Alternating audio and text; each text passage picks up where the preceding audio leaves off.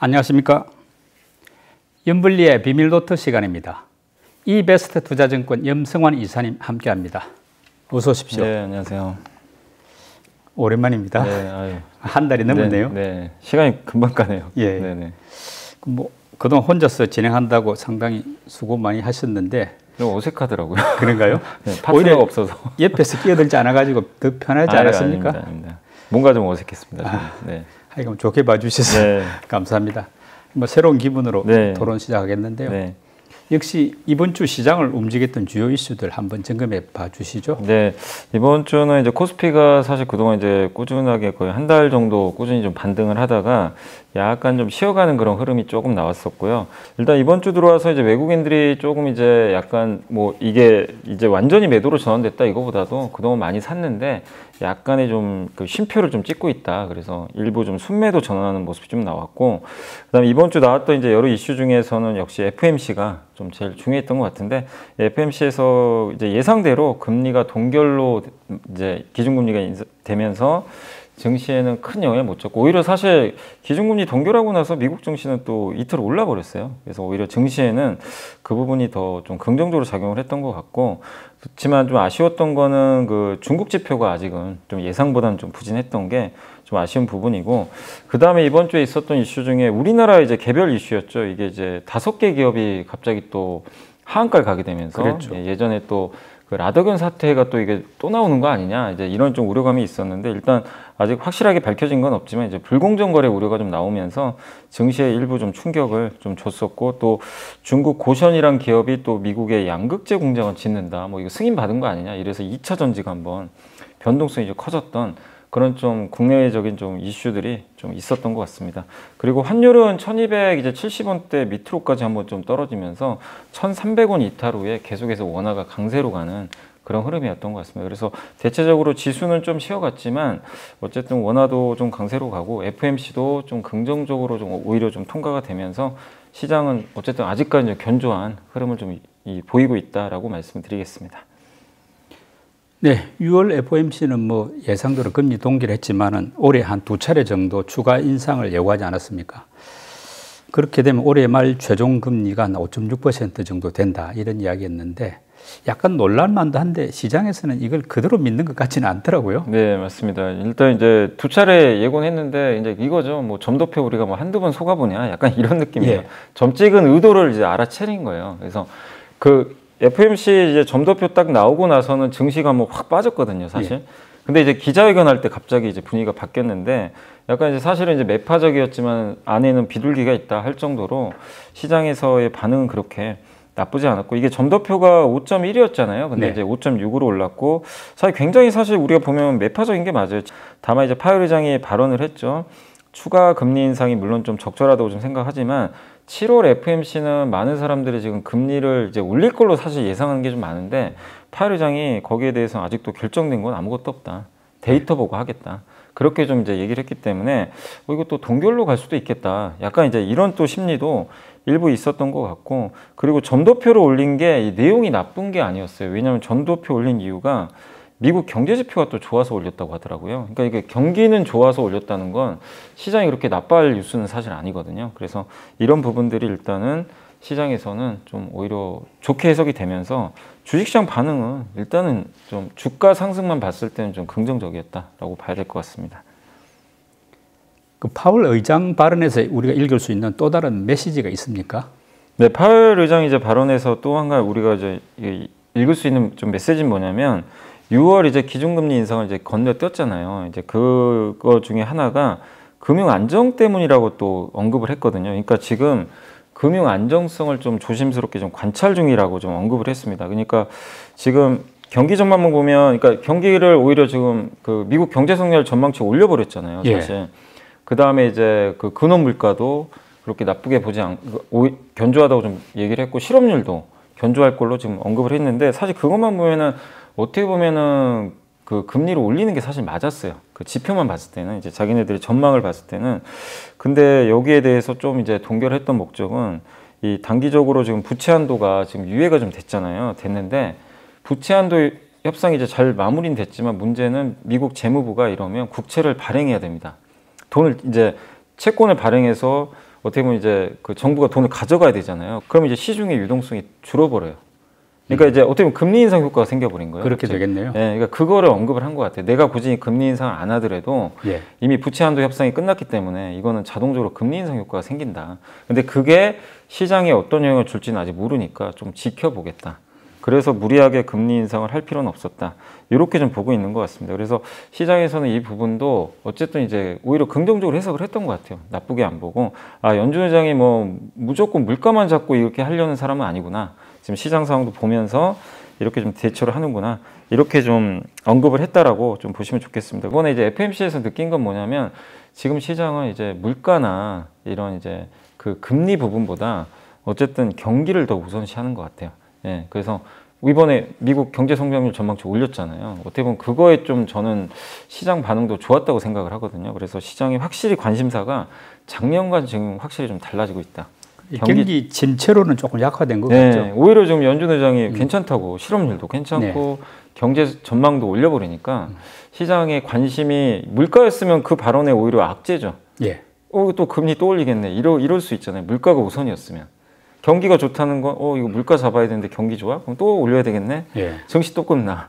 이, 게 작년의 레파토리인데, 올해는 이 비슷한 게 달리 지금 해석이 돼요. 그러니까 결국에 지금 시장은 경기에도 포커스를 맞춘다. 요거를 좀 투자분들이 좀 인지하시면 좋을 것 같습니다. 뭐 어쨌든 이제 7월 FOMC 같은 경우에 금리를 올리느냐 마느냐 이 부분은 그래도 뭐 물가하고 관련이 있을 물가를 거. 완전히 무시는 못하지만 뭐, 근데 그렇죠. 이제 좀 대체적으로 지금 6월달 아니 그러니까 다음 달에 발표될 물가는 아마 6월치잖아요. 예. 작년 6월에 9.1 나왔거든요. 그래서 아마 3% 초반까지는 떨어질 걸로 예. 많이들 보고 있습니다.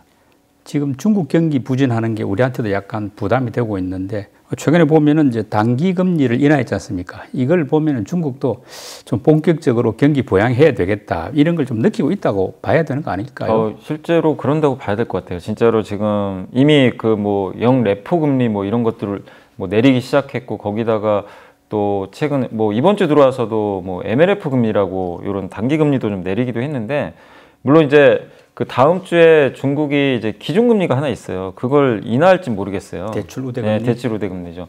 그게 이제 기준금리 역할을 하는데 그 얘기도 지금 루머가 파다하게 돌고 있거든요. 예. 그러니까 중국이 지금 안 쓰면 안 되는 상황 아니냐 예. 이렇게 보고 있고 또 블룸버그에서도 아직은 이거는 이제 뉴스라서 중국 정부가 코멘트는 안 했는데 12개 뭐 부양책 패키지 내놓을 거다. 예. 이 얘기가 나와요. 그러니까 미국이 이번에 금리를 동결한 게 예. 중국 입장에서는 금리를 인하할 수 있는 하나의 네, 약간의 맞아요. 좀 방편 내지는 환경이 된 거죠. 예, 만약에 이번에 올렸으면 이렇게 금리 인하 쉽진 않았을 거예요. 그렇죠. 네, 왜냐하면 그 미국이 일단 스탑을 해줘야 되거든요. 네. 스탑해야 자기네들 여유가 생기는데 아 다행히 이제 미국이 이, 금리를 동결해 주니까 예. 숨통이 또 튀었고 그래서 이제 아마 금리도 추가적으로 좀 일부 인하가 나왔고 또 이번 주에 나왔던 그 지표들이 대부분 그렇게 뭐 좋진 않았어요. 작년에 그 제로 코로나 때랑 지금 비교하면 당연히 훨씬 높게 나와야 되잖아요. 예.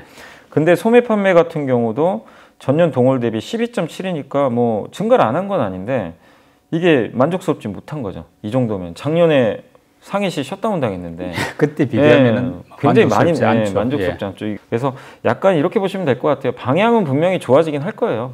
중국 정부도 지금 일단 부양책은 안 쓸 수 없는데 다만 이제 시장에서 원하는 만큼의 그런 패키지가 나올 거냐 아니면 좀 아이, 그냥 신용만 할 거냐 지금까지 어떻게 보면 약간 네. 찔끔찔끔식으로 부양을 하다 보니까 효과가 그- 그렇게 만족스럽지 만족스- 못했는데 말씀대로 12가지 정도 한꺼번에 이제 좀 고강도가 나오면 예. 뭐 기대해 볼 수도 있겠죠. 그러니까 결국 시장이 메시지를 확실히 주면 좋죠. 우리 예. 이 정도로 우리 좀 적극적으로 하겠다. 그러면 좋아질 텐데 이제 그거는 한번 다음 주까지 한번 우리가 좀 계속 주목해야 될 것 같습니다. 그리고 수요일 날 14일이죠. 뭐 방림, 동일 산업 이렇게 다섯 개 종목이 갑자기 하한가 맞아 해가지고 전체적으로 시장에 이제 큰 충격을 준 일이 있었는데 이걸 두고 뭐 JSG 사태, 제2 라더겐 사태 아니냐 이런 이야기들이 나오는데 현재 그 진상이 지금 수사가 시작된 거죠. 네, 뭐 압수수색 들어갔다고 하더라고요. 네. 여기 이제 그 나온 뉴스로 보면은 온라인 투자 카페를 운영하는 그 강모 씨를 일단 시장에선 지목을 좀 하고 있는데 거기 그래서 검찰이 압수수색했다라는 이제 뉴스가 떴더라고요. 예. 핵심 쟁점은 그거예요. 이 라더겐 사태랑 비슷한 것들이 좀 몇 개 있었잖아요. 예. 뭐 거래량도 적고 자산주에다가 주가도 조금씩 이렇게 오르고 있었고, 근데 진짜로 핵심은 뭐냐면 주가 조작이 되려면 통정 매매가 있었어야 되거든요. 네. 그러니까 이제 그 라더견 사태의 핵심도 이 계좌 다 맡겼잖아요. 근데 이제 자기네 그 세력들이 그냥 여기서 여기서 주문을 내고 이 돈으로 자기가 사버린 거죠. 어떻게 보면 그게 통정 매매잖아요. 미리 예. 미리 이제 정해놓고 이번 사태도 그거 아니냐. 요게 이제 쟁점이에요. 근데 요게 진짜인지 아닌지 좀 밝, 이제 이거는 검찰에서 밝힐 내용인데 일단은 인터뷰한 거, 그 강모 씨 인터뷰한 걸 봤을 때는 통정매매를 한 것 같더라고요. 왜냐하면 거기 회원들이 있는데 회원들이 뭐 얼마 정도의 뭐 지금 돈이 필요하다 그러니까 자기가 그 물량을 좀 뭐 받아줬다. 뭐 이런 식의 인터뷰가 실제 있었거든요. 그래서 이건 이제 정확하게 좀 검찰 조사 나와야 되겠지만 그게 사실이면 조금 일부 파장은 있을 수는 있다. 그러나 이제 그 4월과 조금 이제 다른 점은 이 기업들의 시가총액도 이제 그 기업들보다는 좀 작은 편이고 또 그때보다는 지금 코스닥의 신용잔고가 좀 떨어져 있어요. 당시보다. 그리고 물론 뭐 이번에도 좀 약간 신용 사태가 좀 있긴 있었지만 당시보다는 또 증권사들이 좀 약간 신용 관리 좀 해놨었거든요. 더 이상 못하게 좀 막아놨더라고요. 또 보니까. 그래서 그때만큼의 영향은 좀 없겠지만 분명한 건 여러분들이 좀 생각하셔야 될 거는 이렇게 단지 그냥 주가 오르는 거를 무조건 좋아하시면 안 되고 항상 그 주가 또 왜 오르는지 이런 것들도 한번 고민을 좀 계속 해 나가야 될 것 같습니다. 이런 걸 보면은 뭐 또 제3의 사태가 안 생긴다는 보장도 없지 않습니까? 네. 그러니까 말씀대로 좀 이상하게 오른다, 많이 오른다 이런 부분은 좀 조심할 필요가 있겠네요. 예, 그러니까 정확하게 그러니까 뭐 회사가 진짜 실적 좋고 뭔가 근거가 있어서 오르는 건 우리가 다 알잖아요. 그런 건 명확한데 그냥 아무 이유도 없이 꾸준히 오르는 경우들도 있거든요. 물론 우리가 모르는 정보일 수도 있는데 근데 이번에 두 사건의 좀 약간 공통점이 이유가 특별한 게 없는데 예. 그냥 계속 올랐어요. 그러니까 그런 부분들은 조금 더 지켜볼 필요는 있는 것 같습니다. 뭐 그동안 우리 증시는 이제 2차 전지하고 반도체가 사실상 주도해 왔지 않습니까? 네. 그런데 금요일 되니까 약간 그동안 소외주라고 했던 주식들이 조금 매기가 돌던데 뭐 이런 식으로 매수세가 좀 다른 업종으로까지 확산될 그럴 가능성은 좀 어떻게 보십니까? 그거는 결국에 이제 경기가 진짜로 이제 돌리는 거 맞냐에 대한 그게 나와야 되고 아까 제가 수요 얘기도 했잖아요 중국. 근데 이제 미국도 마찬가지고 중국도 실제 이제 지금은 뭐 반도체도 그렇고 이런 기업들이 올라간 게 이거 뭐 수요가 좋아서 올라간 건 아니거든요. 특히 반도체도 지금 이거 공급 감소로 올라간 거잖아요. AI라는 거 이제 약간 이제 신 그 산업에 대한 기대감 요건데 가장 중요한 핵심은 이제 진짜로 이 제품을 사주는 사람들이 있어야 되는데 요거에 대한 확신이 사실 아직 좀 부족해요. 근데 그 조짐들이 조금 나오곤 있어요. 아까 말씀드린 대로 중국이 만약에 부양책을 좀 해주지 않을까 이 기대가. 그리고 미국의 소매 판매는 여전히 좋더라고요. 여전히 견조하고 특히 그 고가의 자동차가 여전히 잘 팔려요. 그러니까 어, 미국 수요 그렇게 나쁘지 않겠구나. 그리고 OECD 경기 선행 지수 중에 우리 한국 지수가 2년 만에 이제 플러스로 이제 이렇게 돌아섰거든요. 드디어 터닝하는 모습이 좀 나와졌고 경기에 이게 또 선행하는 지표거든요. 그래서 경기 민감주에 대해서도 요즘에는 조금씩 분위기가 좀 저는 긍정적으로 바뀌고 있다. 그리고 지난 이제 5월에 5월 달 보면 그 일평균 수출액 있잖아요. 이제 조업일수가 5월은 좀 작았어요. 쉬는 날이 좀 있어가지고 일평균 수출액이 올해 최고치 찍었어요. 1, 2, 3, 4월 중에. 그 얘기는 뭐죠? 실제 수출 금액이 진짜 늘고는 있는 거예요. 올해 연초 대비. 그러니까 이런 걸 종합해 보면 야 이거 뭔가 좀 하반기엔 바뀔 수도 있겠다.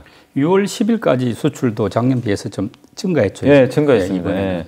그래서 이런 걸 보면은 채- 뭐 진짜 완전 좋아지는 건 아닌데 방향이 바뀌잖아요. 그래서 그런 것들 때문에 제가 봤을 때 이번 주에 느낀 거는 실제 경기 민감주가 금요일도 좋았지만 주중에도 한 번씩 움직여줬거든요. 그러니까 2차 전지, 엔터, 반도체 이 3사가 지금 이 세 개 업종이 주도 섹터거든요. 예.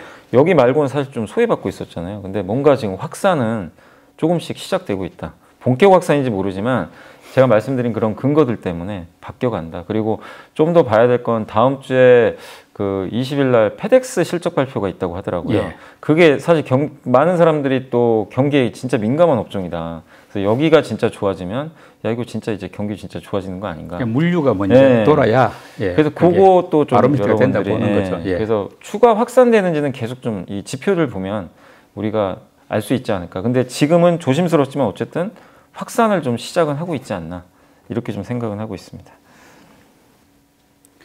원 달러 환율이 지금 1,200원대로 이제 내려가지고 거의 뭐 좀 굳어지는 느낌이 드는데 그러니까 환율이 하락하면은 이제 외국인들이 우리 같은 경우에 더 많이 사야 될 것 같은데 실제로 보면 요즘에 조금 매수세는 주춤하고 오히려 매도하지 않습니까? 이 이유는 뭘까요? 근데 사실 환율이 하락하면 외국인이 더 사는 게 맞거든요. 예. 엄밀히 따지면 워낙 강세로 가니까. 근데 갈수록 환차익을 예. 생각하면 더 들어야 예. 되죠. 근데 이제 아마 외국인들도 약간 패턴이 다른 게 오히려 막 원화가 약할 때 막 더 사더라고요. 저번에 막 1350원 막 근처 가는데도 팔지를 않고. 네. 그러니까 예전과 이게 참 좀 달라진 부분인데 외국인들이 작년 7월부터 주식 샀거든요.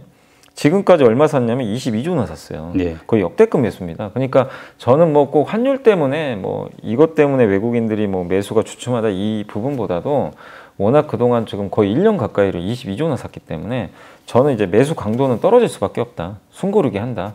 그래서 이거를 뭐 1월, 2월, 3월처럼 뭐 연달아서 그때처럼 막 몇 조씩 사고 그럴 만큼 지금 외국인들이 지금 지수도 좀 어느 정도 레벨까지 올라와 있으니까 저는 약간의 외국인들 입장에서 좀 숨고르게 하고 있는 거 아닌가 그렇게 좀 판단을 하고 있습니다. 뭐 이번 주 외국인, 기관, 개인들 매수 종목하고 또 상승한 업종도 한번 살펴봐 주시죠. 먼저 이번 주 외국인들이 가장 많이 매수한 주식 10개 종목 좀 살펴보겠습니다.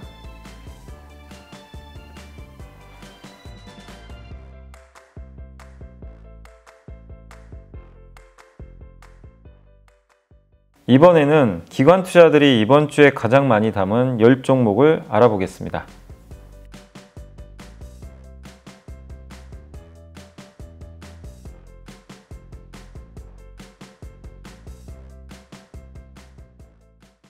이번에는 개인 투자자분들이 이번 주 가장 많이 산 주식 10개 종목을 살펴보겠습니다.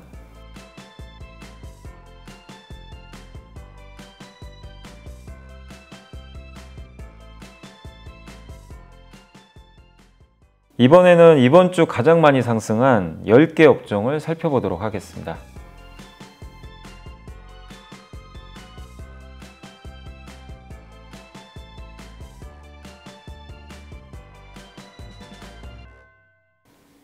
이 상승한 업종들 가운데 강세 흐름이 조금 더 이어질 수 있다. 뭐 이렇게 보는 분야 업종은 어느 쪽입니까? 일단 이번 주에 그 IT 부품 업종들이 상당히 좀 돋보였는데 그래도 다음 주까지 좀 연결될 수 있다고 부분은 이제 PCB 업종 여기도 이제 반도체 기판인데 워낙 요새 AI 수요가 많다 보니까 거기 제일 중요한 게 또 기판이거든요. 그래서 첨단 이제 기판들 수요가 좀 늘면서 PCB 업종의 상승이 그냥 단지 이번 주가 아니라 조금 더 저는 연결될 수 있다고 보고 있고 두 번째는 항공 업종도 정말 오랜만에 좀 반등을 해줬어요. 근데 예.